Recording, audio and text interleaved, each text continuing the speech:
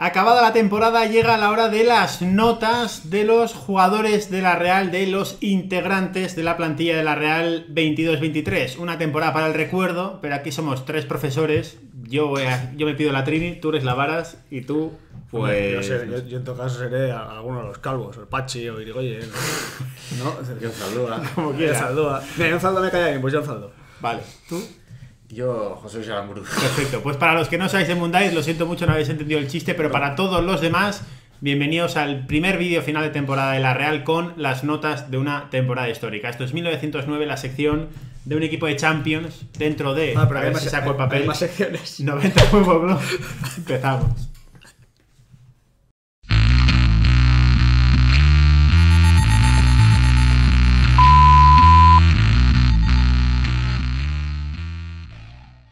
Como habréis podido notar en el cambio de plano, evidentemente antes no teníamos taza, ya tenemos las tres tazas aquí encima de la mesa. Vamos a ser los profesores exigente, el laxo y el policía amable. Vamos a hacer la del poli bueno, el poli malo.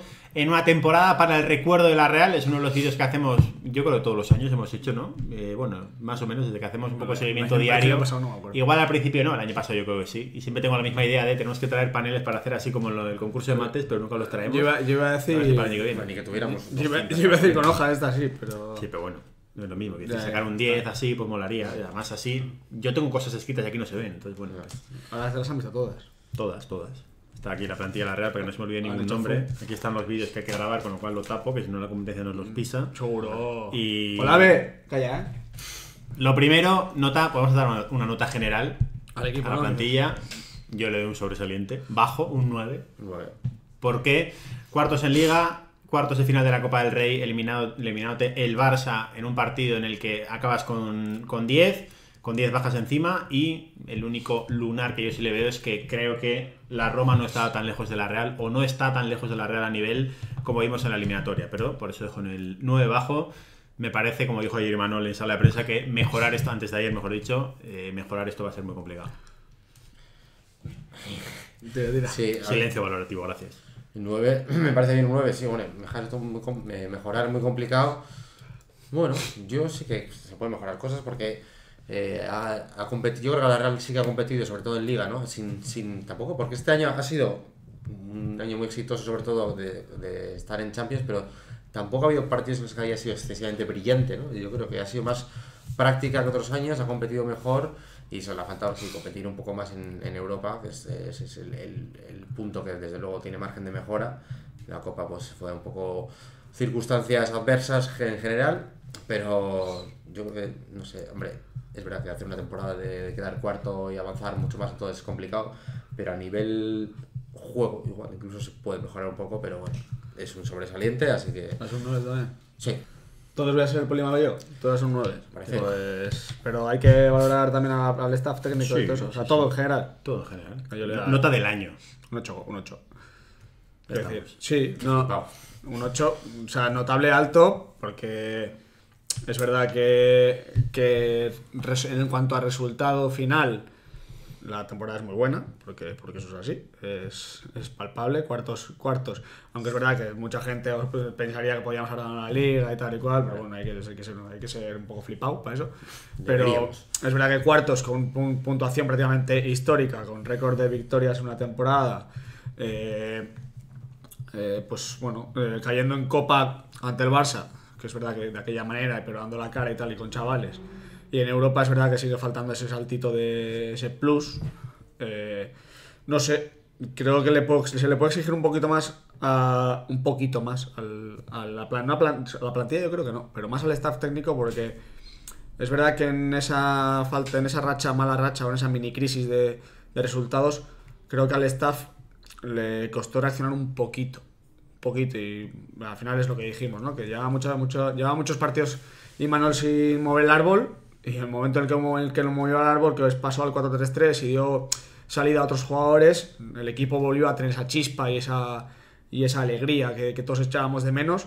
Y yo, yo lo eché de menos que hubiese pasado un poquito antes. Por ese aspecto, por eso le doy un poquito menos del 9, porque si habláramos solo de, de resultado global, de decir clasificación aquí, aquí, allá, le daría un 9, incluso un poquito más, 9, y- no 9 y medio, pero 9.25, porque al final eh, competir en tres, en tres competiciones y hacerlo todo perfecto, pues estaríamos hablando a la altura de Madrid y Barça, que es pues, con las plantillas que tienen. Entonces le doy un 8, un 8, con- un 8 en este caso porque, por eso, porque en esa parte de mini crisis al, al staff sobre todo le costó reaccionar y el equipo obviamente, pues si el staff no reacciona, pues si los jugadores no están al nivel que, que estaban al principio de temporada, pues, pues eso, pues si Bryce no estaba fino, pues al, al- al staff le costó reaccionar para cambiar a Bryce.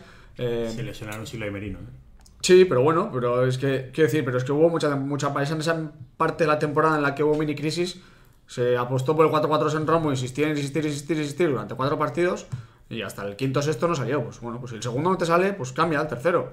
Es decir, mueve algo. Que luego vuelves al, al Romo otra vez al cuarto, no te voy a decir nada, pero mueve algo, cambia algo, haz algo distinto, porque estás viendo que el equipo no está funcionando como tú quieres. Que igual en cuanto a rendimiento defensivo y en cuanto a rendimiento de competitividad, lo que ha hecho Sansi, hemos competido en todo momento, creo que nunca hemos estado, este año sí que no hemos tenido esas goleadas de 4-0 y tal, no las hemos tenido, porque bueno, porque también ha venido una plantilla un poquito más, más amplia en cuanto a recursos, y los que han venido por abajo, pues sí que han estado preparados, que es lo que pedía Manuel. Entonces, siendo un poquito más exigente en cuanto Voy, a... voy a discrepar contigo tengo, te- te- le voy a dar un dato. En cuanto a fútbol, en cuanto a fútbol, eh, sí que no sé, me falta, me falta ese, ese punto de brillantez que la Real había demostrado al principio de temporada de minimizar al rival y ha sido más minimizada la Real en, muchos, en esa fase de la temporada en la que hubo una mini crisis, pero que bueno, que al final también todo llevó a resultados. Pues eso, el día de Valladolid pierdes una llegada de Valladolid, el día, el día del Cádiz sí que bueno, pues te cuesta y te cuesta y te cuesta. Y el Valencia, en Valencia, pues no, no lo sabía ni por dónde iba a ir a la Real. Señor Hernández, le voy a dar un dato. El Real Valladolid 4-3-3, Cornellá 4-3-3, Celta 4-3-3, Valencia en Mestalla 4-3-3. El día del Cádiz, no me acuerdo exactamente, pero yo creo que 4-3-3 también. Y es verdad que Villarreal y Atlético 4-4-2, que acuérdate, nos decían, no, es que el 4-3-3 hemos vuelto y éramos un equipo muy... Como que ya nos habían cogido un poco la medida, tal. Entonces, bueno, se movieron cositas. Se faltaban sí, y- fue 4-4-2 también. Yo no sé por qué Sí, este- bueno, no estaba Silva. Todavía volvió Silva después. Toda la banda arriba, Diego Rico y al otro. Sí, ya no me acuerdo, pero bueno, hay tiro de, de memoria. Para toda esta gente que Y luego eso. dice luego- esto del bache, tampoco es normal que las dos mejores rachas de la historia de la Ah, Real sí, sean no. este año nueve victorias en tengo apuntado noviembre, diciembre y enero y ocho victorias en el mes de octubre. Yo sobre todo, más que, más que ya no sistema, sino por el hecho ya de, de jugadores, personalizar en jugadores, pues, pues eso, cuando movió el árbol y por ejemplo empezó a entrar Barrenechea en, en ataque, que estaba fresco, Ya, Barren en enero, la verdad que no me acuerdo por qué no jugó. Quiero decir, eh, Bryce no estaba, no se metía a, a alguien por dentro que le diera esa frescura al equipo. No sé, pues igual jugar con Guevara incluso de interior, que igual le podía dar otra cosa. No está Bryce, pues cambia. Eh, Diego Rico, que llevaba dos, tres, cuatro semanas flojo, allí no apuestas por ahí, hasta ya casi último recurso. Hasta que renovó Diego Rico. Eh, quiero decir, ya no es por el hecho del sistema, sino por nombres. Quiero decir, no te está funcionando con los nombres que, que es que tú quieres que te funcionen, que sabemos todos de memoria la anuncio inicial de la Real, cambia.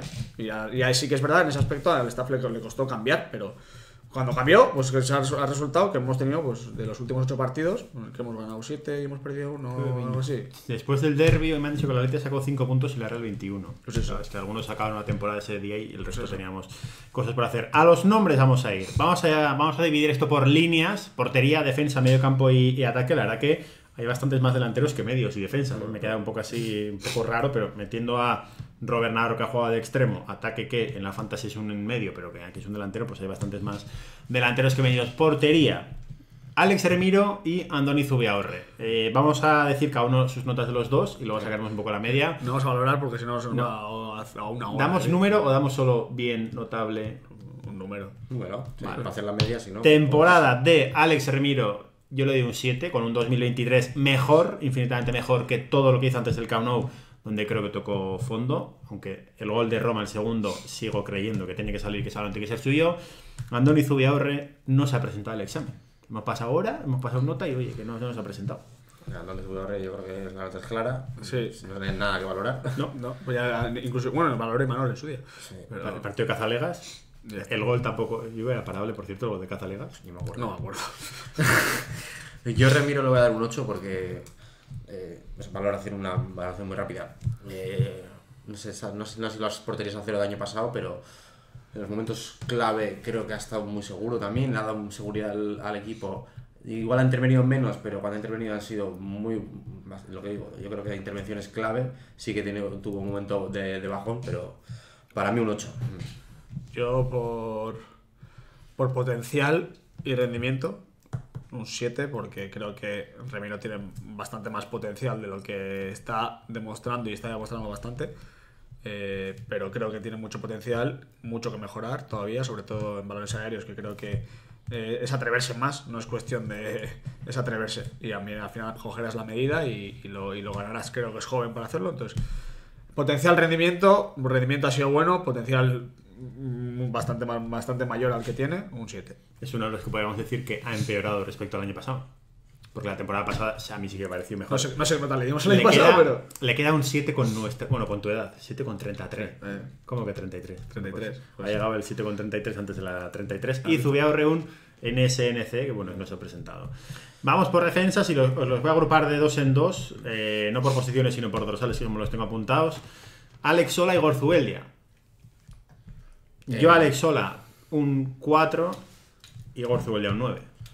La temporada de Gorzuelia en cuanto a eh, regularidad me parece espectacular. En cuanto al rendimiento que dio cuando cayó Lenormand como líder de la zaga, tremendo. Y creo que si no está con las selecciones, porque llevar a los dos centrales de la Real, igual cantaba un poco. Yo sí, Alex Solago es, sí, es que un 4, porque tampoco no ha tenido mucha oportunidad y cuando ha estado pues tampoco ha aportado nada especial. Y Zubeldia, bueno, voy a bajarle un poco al, no sé si 8 y medio, porque... Pero no se me ha escapado.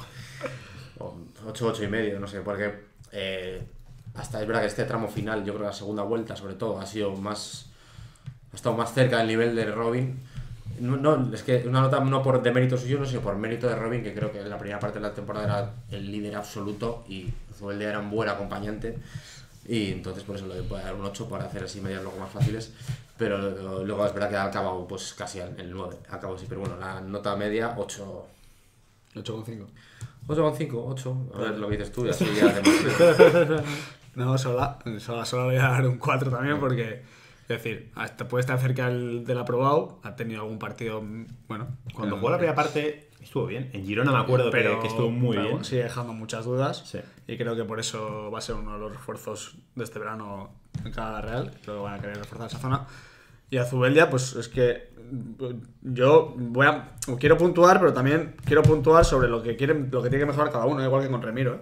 Eh, yo le voy a dar un 8 a Zubeldia porque eh, creo que es verdad que ha tenido un final de temporada muy bueno, pero que todavía tiene mucho potencial por delante para mejorar, sobre todo en, en cosas que, por ejemplo, pasó el, el ayer, porque estamos grabando esto el lunes, va mañana, pero bueno, el... Por la mañana no que hemos trabajado por la tarde. No, bueno, pero va mañana el vídeo, que Ah, es martes. Esto es martes, estamos grabando estamos este vídeo martes, pero estamos grabando lunes.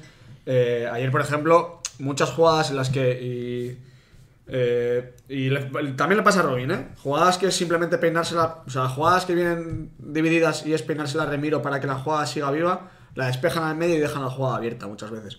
Y a Zubeldia le pasa mucho, sobre todo con la cabeza, que no sabe dirigir bien esos balones para dar otra continuidad. Y también le vi a Zubimendi muchas veces desesperado diciéndole a, a Zubeldia, dámela que en un toque ya hemos roto la línea. Que Zubeldia le falta atreverse siendo un pivote, le falta atreverse en eso. Entonces, por potencial que yo creo que tiene, cualidades de sobra para ser todavía mejor central, eh, para ser un Macherano 2.0, mm, obviando las diferencias, pero eh, yo le quiero dar un 8 porque la temporada es muy buena. La progresión de, de Zubeldia como central es bestial, pero que es que creo que todavía tiene muchas cosas a mejorar. Y en el momento en el que dé ese pasito adelante, va a estar pues, probablemente muy cerca del, del 10. Muy complicado tener un 10 durante la temporada porque siempre tienes valles, pero mi 8 por eso, porque yo creo que va, va a estar más cerca de tener temporadas de 9.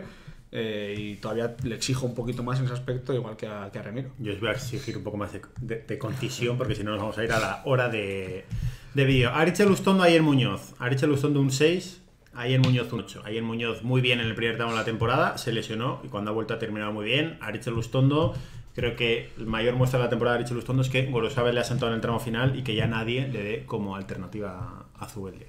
Sí, eh, yo sigo confiando también, si hablamos de potencial, sigo confiando de que Aritz puede ser, ya hemos ya que es buenísimo, puede ser muy bueno, incluso que a día de hoy todavía, aunque solo por regularidad, ¿eh? o sea, yo creo que todavía a nivel potencial de defensa puede estar a la altura de Zubeldia como central. Eh, es verdad, pues está pasando los años y uno va hacia arriba, otro va hacia abajo, pero, pero bueno, yo creo que todavía es muy buen eh, jugador, muy buen defensa y este año pues no ha estado a su nivel, entonces pues sí coincido con, el 6. Y Allen voy a bajar un poco al 7, pues porque ha sido más irregular, ¿no? Mucho tiempo ha sido suplente de, de Diego Rico, que habrá tenido la culpa o no, pues no lo sabemos. Cuando ha estado, ha estado bastante bien, tampoco ha sido, ha tenido algún partido sí, digamos, más o menos brillante, pero tampoco ha sido excelso. Así que bueno, yo me quedo con eh, Allen un 7 y que, como estamos hablando, creo que todavía puede dar más. Yo un 7 a los dos. Voy a ser rápido y conciso. Mm. Creo que el Gustondo, eh, la única pega que le pongo es que se, lesiona, que se lesiona. Sí. Porque cuando no se lesiona y tiene, lo dije, lo he dicho en zona mixta en varios vídeos, cuando no se lesiona y tiene regularidad, le cuesta coger el ritmo, pero cuando lo, lo coge, o sea, es indiscutible. Y por eso creo que la primera parte de la temporada, como ya venía la pretemporada, era indiscutible con Gorosabel. Y cuando se lesionó, Gorosabel apareció. Y ahí ya le hemos visto a Lich Luzondo que sin ritmo le cuesta mucho más, se le ven las carencias. Pero la temporada en general yo creo que es, que es buena cuando ha estado disponible al 100%. Y ahí en un 7 también, porque no tiene culpa de que el entrenador no le haya querido poner antes.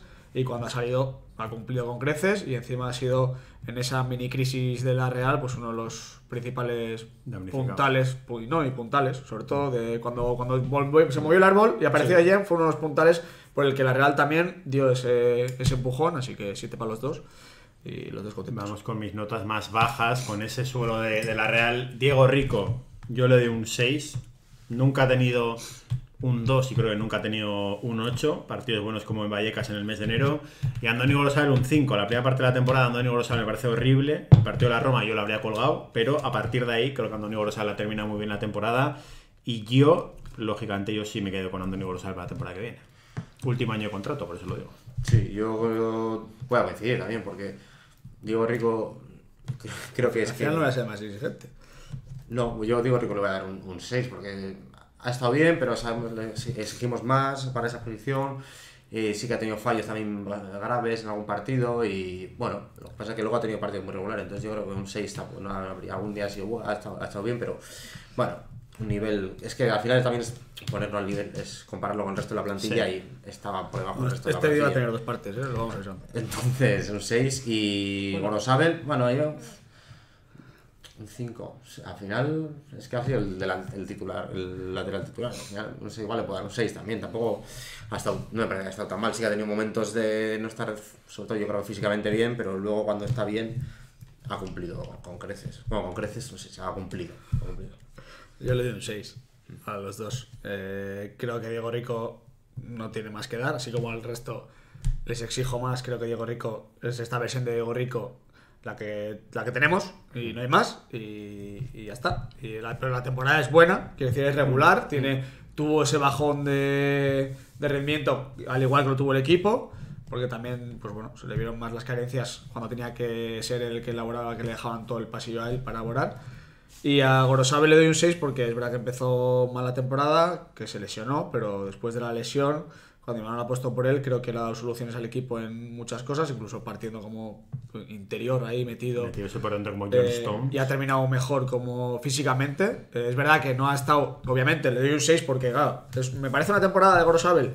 Si no hubiéramos visto el rendimiento puede dar Gorosabel a, ple- a pleno rendimiento con ese pie que tiene, pues le hubiese dado un poquito más porque tampoco me parece tan mala la, temporada de Gorosabel, pero es verdad que pues, una temporada en la que no ha estado, tan lejos de lo que esperábamos de él, pues un 6 y contentos. Cerramos la defensa con John Pacheco, Robin Lenormand. Yo a John Pacheco un 6, con errores como en Mallorca, como el día del Sevilla, el otro día que creo que está blandito en el gol de- del Sevilla. Error también el día del Rayo, a pesar de que el balón que le mandan es un melón porque tiene que, creo que tiene que descoserlo y se le escapa. Y Robin Lenormand, como he dicho que Zubeldia es el mejor de la defensa y tiene un 9, pues yo a Robin le voy a dar un 8. Pero yo no voy a dar decimales, lo siento mucho, pero 6 más 8. Yo a Robin le voy a dar un 9 porque sí me parece un escándalo cuando está al 100%. Eh, ha tenido muchos partidos de estar al 100% y me parece una barbaridad Robin Lenormand. No sé si ha sido mejor el año pasado porque ya fue muy buena la temporada pasada, pero esta ha, sido para mí el pilar de la defensa de un equipo de Champions, así que 9 mínimo. Y John Pacheco un 6 también. eh, es, como que ha sido no todavía le falta sí que ha mejorado un poco pero todavía le faltan muchos pasos que dar tiene cualidades de sobra pero todavía tiene muchas cosas que mejorar así que un 6 creo que sí Lo veo, al final voy a ser más exigente. A Pacheco le doy un 7 eh, porque ser central y no jugar con continuidad es muy difícil. Eh, y creo que cuando ha salido, más allá de que ha tenido errores, pero creo que errores propios de la inexperiencia de un jugador que viene a ser un puntal en defensa en el futuro y que tiene que mejorar mucho, pero que creo que solo le van a dar los minutos de los partidos. Eh, bueno, el día de Old Trafford fue, fue, vamos, por no decir mal, fue la polla el partido que hizo. Ah, la- Eh, y, no sé, Pacheco para lo que ha salido, para los minutos que ha jugado, que creo que ha jugado bastante, pero que se podría haber apostado incluso más por él. Yo creo que en ese rendimiento le doy un 7 porque también está lejos de lo que puede dar, porque creo que tiene muchísimo más potencial que dar. Y a Robin le doy un 9 porque es- es que no ha tenido un fallo grosero en toda la temporada. Entonces, no le doy un 10 porque ha estado lesionado, porque, bueno, no ha estado tampoco a su mejor versión en, en varios partidos, pero le doy un 9 porque es que, es que no tiene errores groseros. Es verdad que, si- que, por ejemplo, que con Zubeldia, que sí que le exijo esa salida de balón siendo pivote, a Robin no se la exijo porque la tiene, no, no la, o sea, es más limitado en, en- tareas eh, de, de creación, pero es que en tareas defensivas, que es lo que se le pide a un central, pues si Zubeldia ha estado a un 8, y es que Robin ha estado todavía más. O sea, entonces, bueno, Pues vamos con el 4 y el 8, si te parece. sí, lo único, si quieres, pues vamos a dar paso al siguiente vídeo. Es que No, tiramos, quiero decir que nos vean, ¿no? Ah, Ya vale. está, Bueno, como Ah, quieras. media hora. Sí, no, y lo que queda. Ah, tira. Que vamos con los pivotes, en este caso a Seri Yarramendi, capitán de la Real, Miquel Merino Zazón, el Conde Merino, yo para Yarra un 7, la primera parte de la temporada no jugó y cuando ha jugado igual le costó un poquito coger el ritmo, pero incluso en Vigo que no estuvo bien fue clave con un gol y luego ha jugado muy bien, los mejores partidos de Yarra después de la lesión han sido este año 2023 y Miquel Merino le voy a dar un 7, porque la primera parte de Merino es de mm, Luis Enrique algún día pedirá perdón por no llevarlo al Mundial, pero el, so- el 2023 de Miquel Merino, después de la lesión que sufre en enero antes de ir al Camp Nou, a mí me deja mucho que desear. Y ya no por exigirle finalización en jugadas en las que llega y tira las manos del portero, es que creo que Merino ha estado peor. Y Merino cuando está mal intenta jugar igual de bien que cuando está bien, intenta cosas que de normal le salen, pero cuando está mal no. Como por ejemplo el día de San Mamés siendo el último hombre, arriesga demasiado y da vida al Atlético, una jugada en la que salva al final Remiro. Sí, ese fallo fue, fue muy concreto y fue bastante importante. Iba a ser un poco más benevolente. En Roma se le escapan controles y pases que no se le pueden escapar. Pues Yo voy a ser un poco más benevolente con Merino y le voy a dar un 8 porque creo que eh, es difícil elegir los pilares de este equipo, pero igual puede que sea uno de ellos eh, Merino, que mm, si ya ha sido capitán este año, creo que el año que viene va a ser todavía más capitán entre en ese grupo de capitanes. Porque creo que es muy importante en todas las competiciones, porque sigue creciendo cada año, aporta en todos los sentidos de- del juego. Y es verdad que le cuesta cuando se lesiona, cuando pierde un poco el ritmo, le cuesta volver. Y este año es verdad que igual le ha, habido, le ha costado un poco más que otros años, pero es que me parece un- una, una- una barbaridad de jugador. Eso, muy completo, ¿no? Y, y la ayer le va a dar un 7 porque no sé si alguien esperaba. Yo sí, siempre hemos confiado, esperábamos que, que recuperara ese nivel, que tampoco ha sido brillante, pero ha sido ni- al nivel del resto de sus compañeros, que ha sido un Competitivo. equipo competitivo en el equipo de Champions y acabó siendo titular en muchos partidos, acabó jugando, acabó rindiendo, o sea, no, no ha desentonado para nada, eh, así que me hace mucha ilusión que, que haya recuper- que se haya podido despedir, aunque con pena, que se despida sabiendo que ha estado a la altura del equipo, así que un 7 yo creo. Voy a dar un 7 a los dos. Porque, bueno, de Yarra, tanto dicho, nadie esperaba este rendimiento después de, de estar tanto tiempo sin jugar. Creo que ha cumplido. Eh, bueno, se va, se va porque quiere jugar con más continuidad. Y yo sigo sin verle, ahora mismo, sin verle en ritmo de competición para jugar contra equipos gordos. Y yo creo que él tiene la ilusión de jugar, tenía ilusión de si que juega Champions de jugar esos partidos gordos. Y entonces, como sabe que no los va a jugar, pues que probablemente no los juegue, se va. Entonces me sigue faltando ver a Sierra, pero bueno, eh, con la temporada que ha hecho después de haber eh, estado lesionado, de haber estado discutido, pues una- notable, un 7. Y a Merino le quiero dar un 7 porque es verdad que es muy bueno, que yo he dicho en varios en un par de vídeos que se ha sacado el miembro viril, pero claro, Recientemente. con, con 15 partidos o 30, 20 partidos de 50 a la temporada, a Merino no me vale. O sea, yo de Merino le exijo que de 50 esté en 45 a un nivel que se le Top, espera. Que es a su nivel, más que nada. Entonces, eh, le doy un 7 por eso, porque hemos visto una temporada de Mikel, la primera temporada, la primera parte de la temporada, al igual que el equipo entero, es bestial de Mikel Merino, pero la segunda parte de la temporada, donde no está esto, pues no ha dado esa versión que todos esperamos, también por la lesión, por lo que dices así, que al final es un jugador diésel y después de las lesiones le cuesta. Pero, pero bueno, creo que puede dar bastante más Mikel Merino, que es muy bueno y creo que su rendimiento puede ser mejor que el de esta temporada. Y gracias, y menos, y, bueno, y pues por eso también en parte de la temporada de la Real, pues igual podría estar un poquito mejor, porque si los Merino, Bryce y compañía hubiesen mantenido la regularidad, pues igual hubiésemos estado en mes 71, 70 y más cerca del Atlético de Madrid que otra cosa. Mira que no te suelo dar la razón, pero sí te voy a dar la razón en una cosa, en que vamos a cortar el vídeo aquí, mañana tenéis la segunda parte. Dejamos hasta aquí la primera parte de la planificación de la Real, os digo lo de siempre que nos escribáis aquí lo que pensáis y no nos Planificación, no, la pidáis dónde está la segunda parte. Ya estás, ya estás dando chivazo, ya estás dando. Estás ya chivando. ya. Es igual, que no nos pidáis, ¿eh? ¿dónde están los demás? Mañana subimos el siguiente vídeo, así que hasta aquí, like, suscribiros, seguid a 90FC barra baja en redes sociales y mañana tenéis la segunda parte. Agur.